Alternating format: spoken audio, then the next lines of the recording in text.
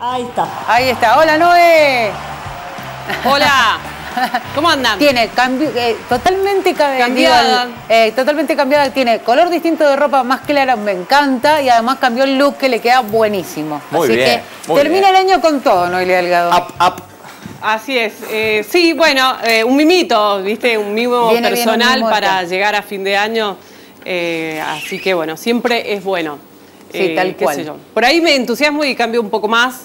Así, así que si este es el último programa, miren esta cara porque tal vez Después- la semana que viene Venga no sé, se me ocurre hacer otra Se cosa. va a poner Botox. Se- no, se va a tatuar la cara a lo mejor. No, la cara no, ¿No? no, no, no, no, no. Tatuarme no, pero sí algo, cambiar la peluca. Viste, esta peluca la vamos a dejar un poquito en el armario, vamos a traer otra. Ah, bien, bien, bien, Este, bien. Sí. Sí, Piercing, ah, tuve piercing en la cara, sí. Ah, bueno, muy bien. Hace Ah, mira mucho vos, tiempo, mucho tiempo. Y, y después la- maduró. Ah. Después maduré, no, más Pero o se menos, pero. ahora de nuevo, ¿viste? El tema de los Muchísimo. piercing. Muchísimo. No importa la edad, me parece. No, Usted no. Claudia, no, no da para un piercing. Sí, por ahí en la nariz me gustaría uno, Muy pero bien. soy media cobarde. En la lengua. Muy bien. En la no, lengua. en la lengua no, jamás en la vida.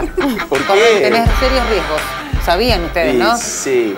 Hay serios riesgos de que puedas perder el gusto. Ah, mira, eso Ah, no pero lo con tenía. el COVID ya te lo hace perder, ya está. Cuando O, o es el COVID, gusto con el o, COVID, es el, pones o el es el piercing. arito, o es el piercing. Y si no acá, el En piercing en la ceja. En la Yo ceja tenía está uno buenísimo. eh, Se está usando ceja mucho el de acá, el de el la nariz. sí, el de la nariz. Sí. Acá.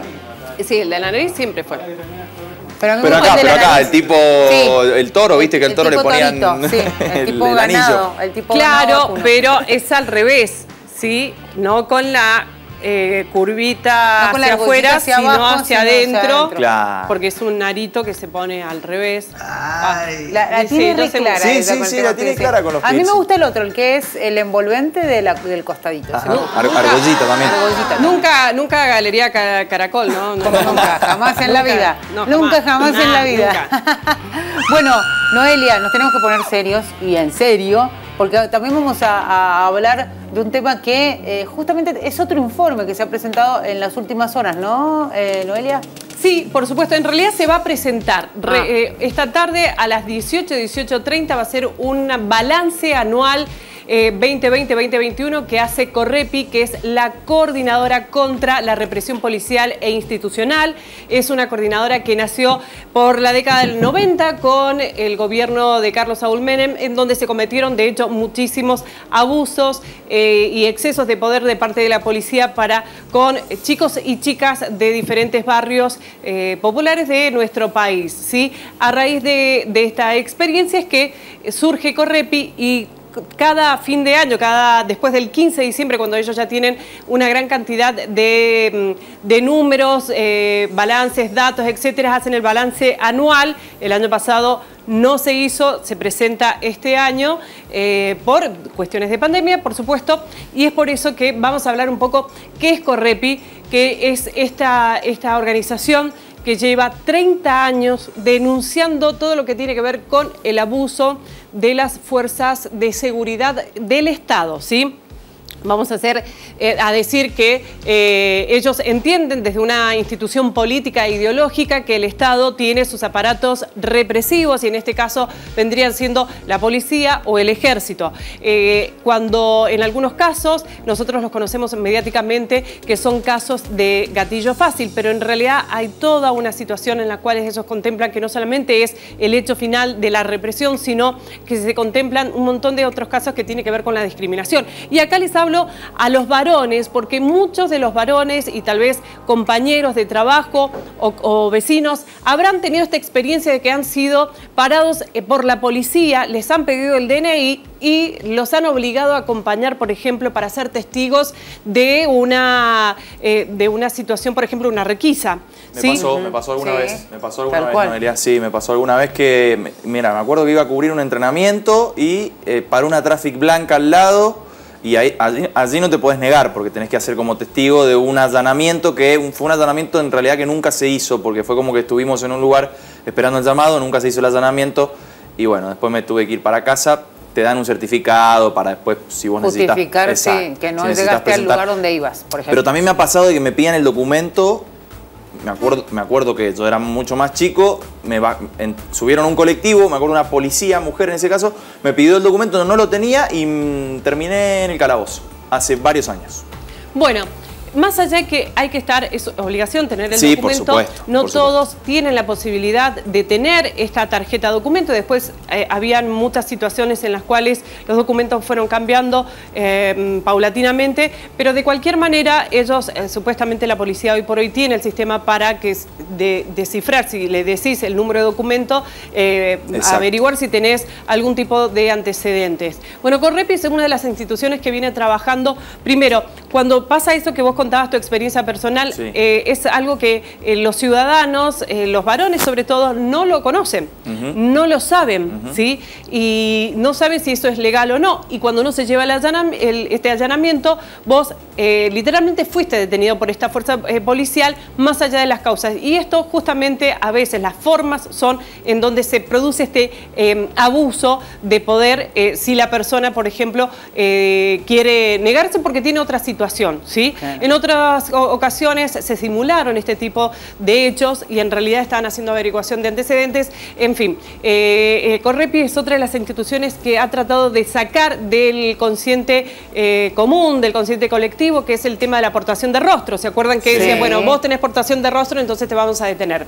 Nosotros estuvimos hablando con Eliana Ocaña. Ella nos dice mm, más o menos cómo están en avance. No tiene un dato final porque no pueden darlo antes de las 18 que se hace a nivel nacional esta presentación, pero nos dice más o menos lo que Correpi ha hecho los datos que ha ido eh, cuantificando a nivel nacional y a nivel eh, provincial, cuáles son los casos de gatillo fácil, vamos a decir este término, gatillo fácil cuando la policía, eh, sin mediar todos los procedimientos reglamentarios para la detención de una persona, actúa directamente em, disparándole a una a otro chico o chica que desde la perspectiva es un presunto delincuente. Después resulta ser que no lo fue, ¿sí? Eh, que es el famoso gatillo fácil. Bueno, ¿qué pasa con esto y qué pasa con eh, los conceptos dentro de los barrios sobre esta situación? Esto decía Eliana Ocaña.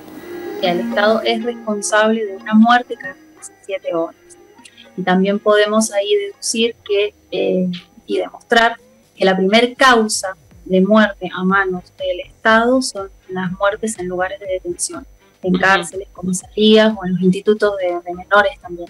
Y la segunda causa de muerte son fusilamientos de gatillo fácil.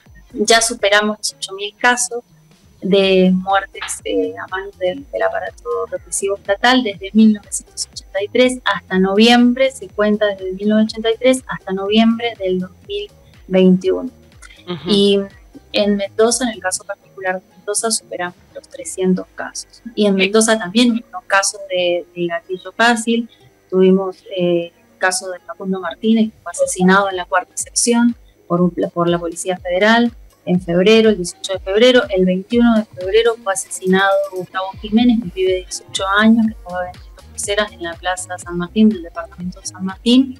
Fue fusilado por el policía que estaba de civil, Nicolás Moreno y también el, fusilamiento de Matías Domínguez en el barrio Santa Teresita. Lamentablemente son menos los casos que, llegan a juicio y que conseguimos una, una sentencia justa. Esto hay que decirlo, pero porque tiene que ver con la, con la naturalización del caso. Y sobre todo, hay dos componentes esenciales, que son la naturalización y la visibilización. Entonces, eh, para eso también eh, nuestro objetivo es trabajar sobre eso. Para eso vamos a hacer los talleres porque, porque son naturalizados los casos de gatillo fácil, por lo general son naturalizados por la gente del entorno de la víctima eh, o por la, por la víctima, antes de ser una víctima fatal. o sea, para, para ellos es natural ¿no? que el policía es el que manda en el barrio. Bien, habla de que estos casos, eh, no, siempre se visibilizan los casos ya en donde hay un muerto o una chica muerta por eh, gatillo fácil o por la represión policial o represión de las fuerzas de seguridad del Estado. ¿sí? Eh, pero hay, existen diferentes casos de abuso en los cuales cuando ella habla de naturalización, justamente ellos asumen que son estigmatizados por esta situación y entonces no los van a, a denunciar. Y en la presentación de lo que tiene que ver con lo que va a suceder esta tarde, que también van a estar presentando algo que se llama el manual de, ah, lo voy a decir bien para no equivocarme, el manual del pequeño detenido de Correpi, que justamente es un pequeño manual en el cual hay diferentes puntos para que ellos puedan reconocer, reconocerse en, la situación, en el contexto social en el que está y reconocer una situación de abuso por los cuales ellos tienen derecho justamente a hacer las denuncias. Se hacen las denuncias en algunas fiscalías. Uno dice, bueno, hay mucho miedo de ir a denunciar un abuso policial a una, a una a, una comisaría, mejor dicho. Eh, sin embargo, bueno, Correpi o SUMEC, como recién ustedes lo decían en la nota anterior, son los lugares para poder asesorarse y tener el acompañamiento para que esto se denuncie correctamente y se termine con esto.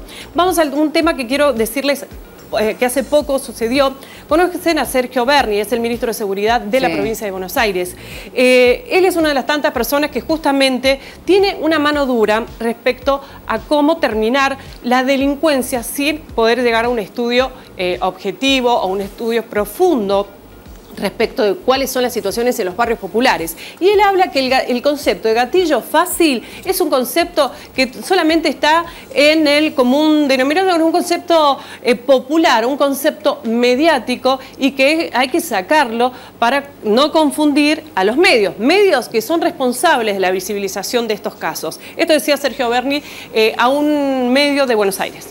Son dos cosas distintas. Por eso dije al principio que no hay una tipificación en el Código Penal de lo que es el gatillo fácil para poder describirlo. Un concepto popular. Eh, uno, en ese concepto entiende en el, en, el, en, el sentido del gatillo fácil la animosidad de aquel que tiene el monopolio de la fuerza pública utilizarlo discrecionalmente sin ningún motivo y con razones este, eh, hasta emocionales, podríamos decir, ¿no? Y esto no fue el caso. Bien, y también María del Carmen Verdú, que es abogada de Correpi, de la Coordinadora contra la Represión Policial e Institucional, decía justamente que este, esta terminología en el Código Penal sí existe y es por eso que tienen que ser más ágiles los casos, los juicios a aquellas personas, policías o funcionarios públicos, porque son lo que son funcionarios públicos que tienen represión mano dura contra personas eh, civiles, ¿sí? en algunos sectores por discriminación también.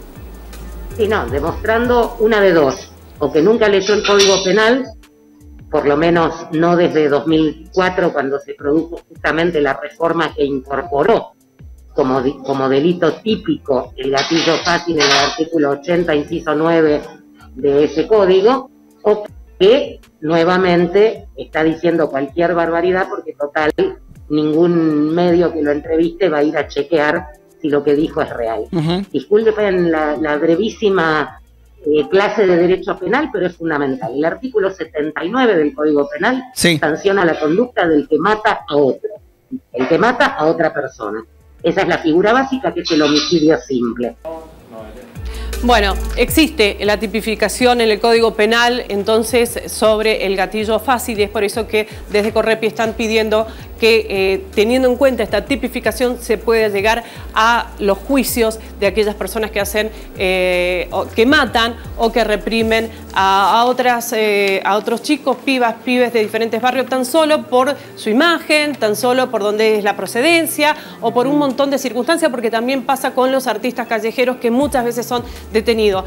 Ah, se va a cumplir 20 años de lo que fue la crisis económica del 2001, en donde creo que fue una muestra más que obvia, 39 civiles murieron a causa de la represión policial que se vivió y eran civiles que en ese momento exigían y pedían, por supuesto, por trabajo, por comida, por vivienda y por un mejor, una mejor, eh, un mejor país, una mejor realidad en su momento, ¿sí? Bueno, participen, vayan esta tarde a las 18, los que puedan ir a la Plaza Independencia, es un acto que se va a realizar y si no lo pueden ver por Instagram de Correpi, desde ahí se va a transmitir lo que es el acto en Plaza de Mayo, justamente a raíz de la muerte de estas 39 personas que en el 2001 cayeron por la fuerza policial. Noelia, buenísimo el informe y bueno, muy interesante, ¿no? lo que significa también poder tener acceso a estos informes y conocer lo que pasa en este caso con el tema del el gatillo fácil o también eh, las detenciones arbitrarias, ¿no? Me parece que es un tema del cual tenemos que hablar, más allá que incluso lo que diga un ministro como Bernie, ¿no? Quedarnos con, con la, la otra campana es, sumamente importante también, ¿no? No es Ah, así es, eh, correpi.org, pueden encontrar ahí, ahí van a descargar todo lo que son las vías de comunicación para esta organización en cada una de eh, sus sedes a nivel nacional. Y si no, bueno, SUMEC, que ustedes también entrevistaban anteriormente, que es otro de las tantas eh, asociaciones y organismos que están en pos de lo que es la visibilización, la defensa y por supuesto la denuncia de todo lo que tiene que ver en contra de los derechos humanos. Noé, muchísimas gracias. De Último nada. programa, Gracias, Noé. última participación en Atardecidos. Sí. Ha sido un placer tenerte con nosotros. El placer nos- es mío. Con que nos hayas dado una mano con distintos informes durante todo el año. Bueno, yo quiero agradecerles a ustedes acá, a los compañeros detrás de cámara y por supuesto a Gabriela, a Darío y a todo el equipo de producción que me dan esta oportunidad para eh, poder seguir haciendo informes, acompañarlos. También ha sido toda una situación de aprendizaje, así que Gabriela, por el tema de los tiempos, te pido por favor que tengas paciencia hasta tanto a mí me salga más aceitado esta situación de la televisión. Muchas gracias, Noé. bien, Noé, muy Será bien. hasta cualquier momento. Hasta cualquier momento.